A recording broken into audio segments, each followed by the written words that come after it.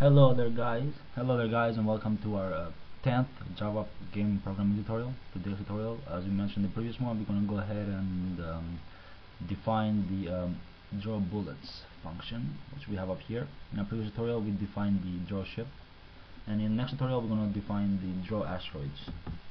So, uh, if you guys didn't watch the previous tutorials, go ahead and check those out as as you will need those in order to basically complete or well you will need our previous code and all the other classes we wrote in the previous tutorials in order to to proceed with this one. So if you haven't done that, go ahead and do that and then proceed with this tutorial. So let's go ahead and get started with our tutorial. It will be uh, fairly short, so let's go ahead and get started. So I'm gonna put a comment here and say draw bullets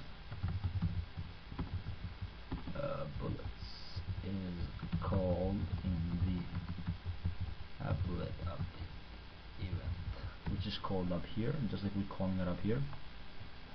And let's go and I'm gonna type public void draw bullets. Alright let me put another comment here. We're gonna have a for loop here so I'm gonna put this for loop iterates iterates um, through the bullets array. So we will have a for for n equals 0 n is less than bullets which is the number of our bullets and n plus plus. If you're wondering where we got that bullets variable we all we defined in our previous tutorial which is up here so we should have bullets.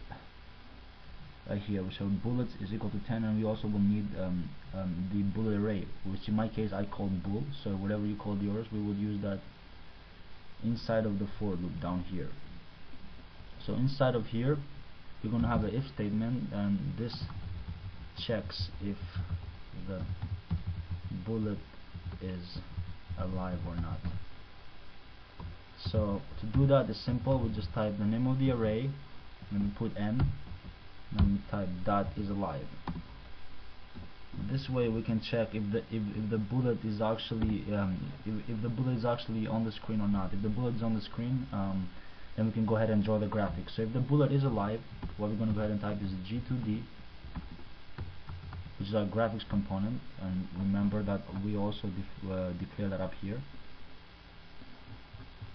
so let's go back here. And g2d dot set transform and identity. Just like we did in our previous function here in the draw ship next we'll type g2d and we're gonna go ahead and type translate. So what we need to do uh, essentially is basically we need to get the x and y location of the bullet here. So to do that we're going to type bool which is our name of the array n and then uh, get x. And similarly here we're going to get y. So we type bool and get y. So now that we have the x and y let's go ahead and type g2d dot set color. So let's set the color of the bullets. And uh, color. And set it to any color you want. I'm gonna set it to my color it to magenta but you guys can set it to whatever color you prefer. And next let's go ahead and actually draw the bullet. So G2D and let's type draw. And let's type bool and then n and then get shape. So that we're getting the shape and draw that bullet. So what we're doing here when we basically saying get shape we are going inside of our bullet uh, class here. And remember we define the transform in here. Uh, so here we have uh, the, how, how big we want the bullet to be and the size of the bullet. In our case it's only one by one pixel. It's only one pixel.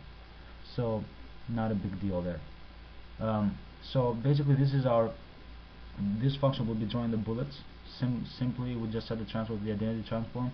And we we get in we get the x and y locations of the bullet. And then we set the color and we actually draw the bullet. And we use a for loop to iterate through the bullets. If the user shoots uh, multiple bullets that way. We, we have that's why we have this for loop in order to go to the for loop and make sure that uh, to check if the bullets are alive or not. And if they are alive then we should go ahead and um, uh, draw them and also update. And also update the and then also basically the update event is going to call that function and basically draw the bullets. So also make sure uh, as I see here I actually misspelled bullets.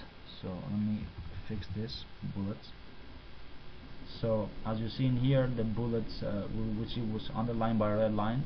So since we haven't defined it yet now it's defined so it's fine. So thank you for watching this tutorial guys. In this tutorial we go ahead we define the bullets class.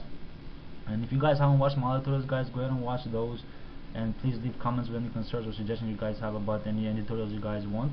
And if you haven't subscribed to my channels guys please go ahead, uh, please go ahead and do that as well. It truly means a lot and it gives me a lot of feedback um, basically and that way I I can see if you guys do like the videos or not. So please forget uh, please don't forget to subscribe to my channel guys and uh, we'll be back with our 11th tutorial. We're going to go ahead and define the asteroids class in that tutorial. So thank you for watching and stick around for more